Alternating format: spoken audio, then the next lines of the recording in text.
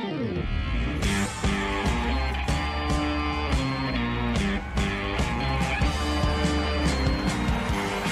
todo México con Jenis Corramaglia por Miami TV.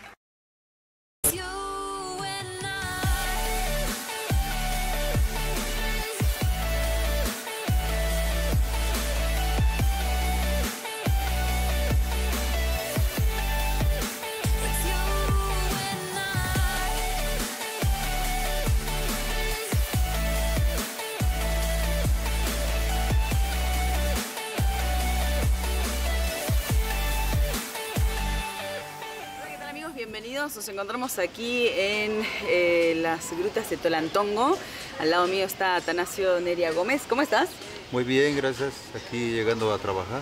Lo hemos esperado cuatro horas el día de hoy, porque no hay nadie que nos ha contado la historia de este hermoso lugar como él. Así que nos captivaste con la historia de ayer. Quiero eh, transmitirle esto a nuestros televidentes, eh, porque para mí no solamente es ver un lugar bonito, sino ver un poquito la historia de cómo se convirtió en lo que es hoy en día, ¿no? Así que cuéntame, ¿tú naciste aquí? Sí, Naciste aquí. yo nací en la comunidad de San Cristóbal, que es arriba, que pertenece aquí a Gruta de Tolantongo. Ajá. Y este, bueno, desde niño nosotros este, bajábamos la gente de donde llegan los camiones hasta arriba. Ujú. De ahí bajamos la gente hacia la gruta con este, cargados de pues, sus cosas ¿no? de que ellos traían. Y el día domingo pues otra vez lo llevábamos a, a donde llegaban ellos, ¿Con qué las bajaban? ¿Caballo? con burros, Con burros. caballos. Burros. este, ¿Esto era cuándo? Año... Eh, pues, todo el, el- pues, el año, el año le estoy hablando como del 75, yo creo, 75. como 76 más o menos a- en ese en ese periodo. La época de los... Sí, la época de los burros, sí, sí, sí. Sí, y este y bien esta esta empresa se compuso, bueno, la compusieron más bien nuestros abuelos, nuestros papás, que fueron los fundadores de esta empresa, este, siendo todo lo que, pues ahora sí lo que, lo que se ve, parte de que de ellos iniciaron y ya de lo que ahorita se ve, pues se ha venido haciendo ya a base de, de, de tras generación, tras generación. Claro. Se van siendo, se han ido haciendo las cosas, pero en aquel entonces toda cosa que se hacía, pues era cargar la- el, el material en la espalda, que la piedra, que Sí, sí. la varilla, que bueno, todo. Y hasta el día de hoy creo, Y- porque... Y, todavía hoy, pues hoy en el día ya es muy, muy poco. ¿Sí? ¿Por qué? Porque ahorita ya hay máquinas, ya hay, pues hay con qué ya arrimar los materiales donde se va a hacer la obra. Claro, pero vimos igual, hace poquito vimos eh, estos muros, así como lo- en lo que estamos sentados ahora, que lo están haciendo a mano, o sea, cargar la piedra, ponerla, el cemento también, pues con una máquina, claro, en aquel entonces era traerlo de lejos. De lejos, cargarla de lejos. estamos. Exactamente, ahorita todavía como tú lo dices, todavía pues llegan, llegan con el material, la piedra ahí donde va a ser la obra, pues obvio que todavía ellos la van a cargar, la van Claro. a poner y todo eso. Pero pues aquellos años no, no, no había había. nada de eso, ahorita pues, es toda la ventaja que ellos, Más rápido. que ellos tienen, sí, más rápido, sí. Y ahora, hoy en día que vemos que tenemos obviamente el camino pavimentado, en aquel entonces me imagino cuando empezó la época de los coches, me imagino que ha de ser muy peligroso porque los derrumbes, las lluvias, ¿no? Sí, era, era un, un- un- un pésimo este, el relajo que se hacía, porque cuando llovía, Sí, no, hombre, se terrible. hacía un, un- Bueno, se quedaban los carros por la subida y pues, nosotros los auxiliábamos, o otros compañeros que, pues, que tienen sus camionetas, pues ellos son los que auxiliaban a toda la gente, sacaban a, a la gente arriba, pero sí era un, un, un relajito cuando, cuando llovía mucho porque pues, era pura terracería. Sí, sí. pero ya ahorita en, en día que pues ya se pavimentó, ya, pues, ya es, es muy, muy, se ve muy bien el camino ahorita, ya para todo tipo de, de visitante pues ya, ya no tiene problemas. Sí, sí. A mí igual me da un poquito de miedo subir y bajar. Es como que, bueno, si no estás acostumbrado a usar los cambios, sí da un poquito de escalofríos, pero, pero bueno, eh, es- se ve espectacular. Yo nunca me hubiera imaginado de que cuando me empezaste a contar la historia ayer de que esto era hecho a mano, dije, no, no puede ser, o sea, es que es demasiado perfecto. Sí. Eh, es las paredes, los caminos, eh, los hoteles, o sea, todo esto es piedra autóctona de aquí, ¿no? Sí, Que sí. sería piedra de mármol. Es piedra de mármol que nosotros tenemos un, un- un banco, se dice un banco donde, donde se saca toda la piedra y ahí se corta, ahí se procesa, más bien se corta. Ya tiene las máquinas, todo para cortarla, la máquina claro. para cortar la, la piedra y esa es la que nosotros mismos la... ¿Y utilizan, eh, también venden para afuera, al exterior? No. No, no, no, nada más Qué es, bueno. es exclusivamente aquí para, Nadie los molesta con para eso. empresa, no. no. ¿No han intentado? ¿No? Menos mal. Entonces es la que utilizamos nosotros aquí para la empresa y para Sí, también sí. para la comunidad, cualquier cosa que se le ofrezca allá. ¿Y en, y en el ejido, como cuántas familias son? Pues estamos alrededor de ahorita de unas mil, Ah, es grande. mil doscientas, mil trescientas gentes que componen la comunidad. Ya autóctonas de acá, personas que nacieron acá y de a poquito, bueno, eh, descubrieron la riqueza que tenían y por dónde empezaron, por dónde comenzaron. Pues, pues empezamos siguiendo ya el, ya el camino de, de- de lo que ya habían dejado nuestros papás, de nuestros abuelos, porque hace años pues, la gente llegaba, ni se les cobraba. Claro, venían, pero ya ve que el transcurso del tiempo la gente se va recomendando claro. y a base de eso pues ya vimos que venía llegando más y más y más gente, pues ya se le cobraba un poquito por ahí, creo 5 o 10 pesos creo se les sí. cobraba, pero ya vimos que a base de eso fue más la demanda, la demanda, la demanda, entonces fue como ya se fueron abriendo más, más este, espacios de gama, me refiero a negocios, Claro. como poner unos buenos baños, unas buenas regaderas, unas pues, cocinas, lo, lo básico para, para que comiera la gente, digamos. Lo mismo que iba entrando, lo iban invirtiendo. Ah, es correcto, así todo lo que... ¿Y, de, y de qué, de qué vivían antes de que existía esto? No, pues vivíamos, muchos teníamos oficio de, de ahí, este, de, de hacer muchas cosas. Por decir, yo, mi padre se dedicaba a, a cortar este, unas palmas que se llaman que hay en el cerro. Ajá. y él las abría y se hacían los, los este, soaderos para los burros. Ajá. Y de ahí es donde nosotros era lo que, lo que sacaba él, pues de ahí nos mantenía. y, y hace mucho tiempo había muchísima tuna Sí. y todo a base de eso también Ah, muchos señores tenían sus, sus huertas, sus plantas, pues de ahí cortaba uno la tuna, pues ya se vendía, pues ya de, por medio de eso se iba uno manteniendo. Claro. Y hoy ya no hay tanta tuna. Eh, hay muy poca ya, ¿Sí? y es más, ya ni la compran, ni se ¿No? vende, ya no, ya. ¿A qué se debe? Pues, pues yo creo ya porque cuando salía esa tuna a lo mejor la ocupaban para algún, algún, para procesarla en algo, pero pues como ve que ahorita ya están saliendo muchas cosas de, digamos ya de, de- Artificiales. de artificiales, me imagino que ya de por ahí, por eso se, se devaluó mucho. Hmm. Sí. no sabía que la tuna se había devaluado. Bueno, en Estados Unidos no se sabe ni lo que es la tuna. Yo cuando primero lo escuché, que tuna de pescado, decía yo. Dice, sí, es queso de tuna. Y en mi cabeza lo primero que pasó era que era un pescado y lo habían hecho queso. Y yo, ¿cómo es posible? Hasta que la vi dije, ah. Sí. Pero sí es muy rica. Prueben el queso de tuna, muy, muy rico. Eh, Sí. Veo de que tienen muchísimas plantas. Eh, algo que me, me encantó es que muchas de las personas locales también se, se preocupan porque el lugar esté bonito más allá, ¿no? O sea, donde eh, hablando con algunos de seguridad dicen, sí, yo allí, acá planté una plantita, acá puse flores, aquí puse un bananero. Entonces, es claro, es su casa y la cuidan, un negocio, pero al mismo tiempo es su casa. Es muy bueno. Sí, sí, es correcto, porque luego aquí desde hace años atrás anda un jardinero. Pues a base de ese jardinero pues, se le va recomendando que le vayan metiendo plantitas aquí, plantitas allá, o a base de también de- de- del administrador conjuntamente con, con los, las autoridades que componen el grupo de aquí de parte de la empresa. Y van recomendando. Se van recomendando, Claro. ellos van viendo a dónde se necesita una plantita, pues las van metiendo. Como esa plantita no lleva mucho, apenas las han metido. Mira, Hay Sí, como no, esas se y como nota. otras que están por ahí en otros lados. Entonces es la forma de, también como cuando se construye, sí se tumban árboles. Entonces Lo balancean. lo vamos balanceando, digamos, poniendo Claro. ahí otros árboles, que al modo de que no se vea, sí, se sí, vea vacío. así muy, muy vacío en los lugares. Sí, sí, sí. Bueno, es. yo personalmente los tengo que felicitar, me conmovió mucho la historia que contabas porque eh, nunca te imaginarías que esto está hecho por un grupo de familias o un grupo de personas, siempre uno piensa, no, una empresa de afuera o extranjeros, No, por eso es tan importante conservarlo, cuidarlo. A veces hasta me da miedo publicitarlo porque digo, no sé qué tan bueno sea que venga más gente. No, pues, al- Porque al- es al como que manténganlo así. Al contrario, para nosotros pues, ya es, es un, es un, un- un orgullo de que nos visite más y más gente y esperemos que pues, lleven Que un buen, un buena imagen, un buen Sí, imagen no, de, de- de- de aquí del parque.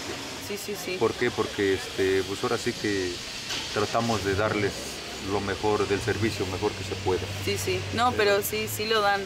Ayer me contabas algo de, eso es lo que le había preguntado al señor hoy, que me respondió genialmente. Eh, el agua, me, me contaste de que de repente vieron en, en partes de la tierra que se empezaba a humedecer y empezaron a escarbar. ¿Cómo fue eso? Pues eh, hay compañeros que se dedican, como nuevamente te digo, se dedicaban a ser jardineros Ajá. y, y hay unos que se dedican a hacer servicios varios. Servicios varios son unas personas que se dedican a, a, a matar los animales, o sea, los borregos para, para la barbacoa. Entonces ellos mismos se, se encargan de, se encargaban, porque ahorita ya no, Ajá. de, de hacer limpieza a todas las áreas. Entonces esos vieron una, una ahí arriba, vieron donde sí salía una venita de agua, entonces ellos lo escarbaron y ya fue saliendo, fue saliendo más y más. Igual manera como allá donde están todas las cositas de aquel lado. Sí. Ahí detectaron que ahí había, había, salía agua, pues de ahí fueron como, como se fue captando y de ahí es donde se fueron haciendo las cositas, todas las que mantienen ahí hacia abajo. Y le fueron poniendo como tubos, ¿no? Para que Eh, pase más eh, limpio. exactamente, o sea, de, de una a otra, otra, otra. Al momento también tienen su, su tapón para desaguarlas, para lavarlas. Ajá. Y ya cuando se pone el tapón, pues ya se van llenando de una a otra, a otra, así hacia. Sí, tienen una cascada. Ah, ah, su Y- cascada y, las pozas, mucha gente piensa que es, eh, eso es natural, pero en realidad las pozas fueron creadas, pero están hechas de material natural, ¿no? Exactamente, con material, piedra más, más, un poquito más brutas que esas. Ajá. ¿Por qué se hizo así? Porque los mismos minerales que trae el agua son los que le van dejando parejito allí en la cascada abajo. Si ves así, quedan bien. Sí, es súper liso, o sea, Sí, es, sí. Y, y no es calcio, porque nosotros No. vivimos en Tulum y allá pues está, está la piedra caliza. Ujú. Pero no, esto es, es que es increíble, es como súper liso, ¿no? No sé, pero ¿qué material sería? No, sería el mármol, ¿no? No. Eh, no, no es otra piedra que se llama tepetate. Ok, Sí, es, es, es una piedra de, de la que, de la que se saca de por acá arriba al cerro. Y, a base de eso se fue poniendo unas y otras ahorita fueron hechas con bloc. ajá. Sí, esas son las que... No, está muy muy bonita. Y el río, o sea que todo empezó con el yacimiento donde es- está la cascada, donde empieza el río. Luego vieron que la corriente era muy fuerte, eh, a, a que en aquel entonces hasta se llevaba gente, ¿no? De Sí, la pues, fuerza que tenía. Sí, pues aquel entonces, pues, de- hace años el río se dejó tal como, como Natural, es, natural, como, como, como era. Y ahorita la actualidad pues, se ha hecho, se, se fueron haciendo unos represos y tratar también aprovechando para que tenga más espacio la gente. Ajá. Porque como nos visita mucha gente luego, pues, en todas temporadas altas, pues, de allí toda la gente se mete, pues allí ya en vez de que lugar, claro. Sí, vayas a la gruta, pues la gruta también se pone así muy, muy Sí. lleno, entonces ya la gente viene allí, pues ya, ya tienen sí, espacio para... Y estar ahí. acá crece, me imagino que lo que siembres crece, Sí. ¿no? Es increíble. ¿El agua se puede tomar? Pues la que sale ¿La arriba de la ustedes? gruta, sí. Sí. Claro, no la que cae acá. No, no, no, la que Ok. sale los escurrideros de, de- de- directamente donde salen de los manantiales. Claro. De ahí sí, O sea, la que llega en su pueblo, sí, la toman. Y de ahí se bañan, todo. todo, sí. Espectacular. ¿Hasta, hasta qué edad viven? Ah, pues, A ver, la persona más, más anciana en su pueblo. Pues ahorita hay uno que tiene 90 y- 95 años. Ahí está. Y imagino que está como nuevo. Pues ya, pues como o todo, menos. ya más o menos. Pe- Pero sí, eh, una persona que acaba de fallecer, esa todavía tenía 100 años. 100 años. Sí, ha habido, Sí. sí, ya, ya son muy pocos los que, los que quedan. Los que sí quedan. sí. ¿Tú piensas quedarte? Pues si Dios me lo permite, pues ojalá y, y me dé muchos años, Sí, sí. Pues sí, ¿qué edad tienes? 60 años. No. Se ve muy joven. se ve muy joven. Los, los cumplí ahorita el 2 de mayo. Ah, pues feliz cumpleaños No, atrasados. muchas gracias, sí. Pues te juro, el aire que tienen acá es súper puro, o sea, se respira aire puro, obviamente no hay factorías alrededor, nada de lo que tenemos a a veces en las ciudades. Y claro, agua, agua pura, pues tienen una riqueza, espero de que lo sigan manteniendo así, espero de que sigan creciendo. Me, me enorgullece, me hasta da un poquito de escalofríos, qué lindo. Mucho mejor y para nosotros mucho mejor apoyar a un lugar que esté construido de esta forma a un lugar que venga de una empresa donde solamente destruyen, ¿no? Porque solo es sacar, sacar de la tierra y no les importa. Aquí me imagino que también cuando lavan todo lo que, todo me imagino que es biodegradable, ¿no? O Sí. sea, sí, es muy importante para Sí, no contaminar. No, no, sí, todos tenemos todos esos cuidados también nosotros de, Espectacular. Bueno, y, y algo, algo que me haya faltado, algo que no me hayas contado, que quieras contar. Pues hay algo, algo muy historia, una historiosamente de, de- de hace años donde nosotros tenemos un, un rancho aquí a unos 20 minutos. Allí hace años, este, como en estas partes, todas estas partes de aquí, todo esto eran, eran sembradío, eran milpas, se sembraban maíz. Maíz, ajá. Y todo allá abajo, pues allá también, ahí está el rancho, por cierto, todavía sigue el rancho donde hay todo tipo de frutal. Hay mango, hay aguacate, hay nuez, hay Ay, este, limón. Ah, Entonces, todo eso se ha- todavía se ha mantenido, plátano, todavía se ha mantenido durante aquellos años. Qué bueno. Pero hace años, ahí había una casetita que, se- eso sí, la verdad, yo no sé quién la construyó Ajá. pero ahí estaba y habí- ahí había un ranchero que se dedicaba a cuidar allá el rancho. Y había de fruta, pero muchísima, muchísima fruta que teníamos hace años. Antes de sus ancestros. Sí. Y, y- y entonces, piedra? No, de madera. De madera, ok. Entonces aquel entonces aquí se celebra el Día de los Muertos. Sí. Aquel entonces venía, cada ejidatario le daban un ciento de naranja y un racimo de plátano. Ok. Lo, veníamos nosotros caminando de, de donde vivíamos, veníamos acá a llevarlo con nuestros burros. ya, ya. Sí, entonces, este, pues, pues ya ahorita ya se perdió todo ese... ¿Ya no lo hacen? eh, bueno, de, de repartición de, de esas frutas ya no. Ah, qué lástima. Pero sí sigue viendo en el... Alguien la sigue cosechando. eh, sí, Sí. Sí, sí, luego pues, por ahí cuando pasa luego el visitante, ve algo ahí, pues, ya este, la agarra, la corta, incluso los rancheros que andan por ahí, ay, se me antojó una fruta, ya, Ay, qué rico. Es, Toma, es que eso es, rique- eso es riqueza. Sí. Vale más eso que el dinero. A ver, ¿cuándo van a entender? No, sí. Es increíble. Eh, y, aquí no, nunca han visto o han escuchado avistamientos, ovnis o historias así paranormales, nada. No. Pura no, no, energía. no, pura energía. Sí, o sea, aquí prácticamente nosotros, bueno, yo de lo que llevo aquí, yo jamás. ¿No? No, Se siente un lugar muy puro en energía, muy positivo. Eh, Sí, este, yo creo que eso ya de los que sienten, ven, yo creo que ya es, es a lo mejor es psicológicamente también. ¿Te parece? No, Me no. imagino. Ahí sí podemos tener una charla muy larga, te digo que no. porque era, ¿sabes por qué? Porque una vez, hace, ¿qué será? Unos cuatro años, como cinco o seis años, yo era, era de encargado allá en la gruta. Y ahí yo estaba afuera con otro compañero. Y me llamó un señor que estaba dentro de la gruta y me dice, oiga, señor, señor, venga. Algo, ¿Qué pasó? A lo mejor al- alguno se está ahogando o algo. Y me decía que veía una cabeza de un toro que estaba hasta adentro. Ajá. Dice, mire señor, está una cabeza, está un toro allá adentro. Pues yo me acerqué, le digo, ¿a dónde? Pues yo no veo No nada. veo no, nada. dice, ahí está, ahí está. Ay, le digo, yo no veo nada. Era para él, no para ti. Pues sí, me imagino que era para él. Yo, Mira, interesante. y- y como eso, varios así, este, visitantes ¿Qué han eh, visto? que han visto, sí, pero realmente ¿Siempre un toro? nosotros, sí, Siempre un toro, mira, y adentro de la gruta. adentro de la gruta.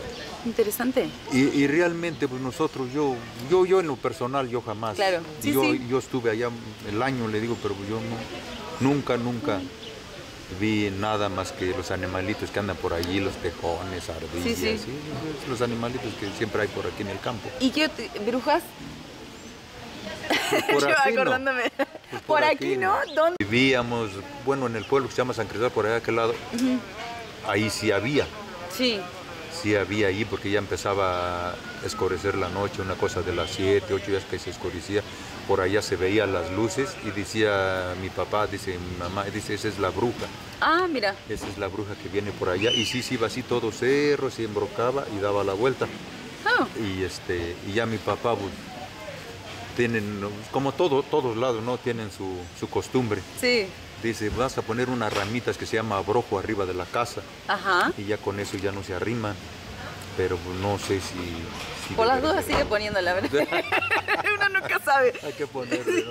Yo siempre digo, los ancestros son los que saben, ¿eh? Ellos Sí. tenían sus mañas y por algo era. Exactamente. Hoy sí. en día, pues creo que solo estamos muy, muy distraídos con los celulares. Sí. Entonces, no logramos ver otras cosas. E- e- ese, ese es lo que nosotros, toda la juventud es lo que les está llevando muy, Claro. Muy, muy en vez de, pues, no sé, yo fíjate que yo aquí, años que yo llevo aquí, y fíjate que yo me siento muy, muy, muy orgullo, un orgulloso aquí de, de- de Sí, ver mi empresa, sí, de ver, de ver esto- estos, estos lugares que yo no acabo de entender cómo es de que se hizo esto. Ajá. ¿Por qué? Pues le digo, pues cómo es de que se hizo este barranco, cómo es de que se hizo, Sí, nació sí, esa agua es ahí. increíble. Sí. Es algo increíble que te pones tú a pensar, bueno, pues aquí eh, este, explotaría un volcán o, o por qué o cómo se hizo todo esto.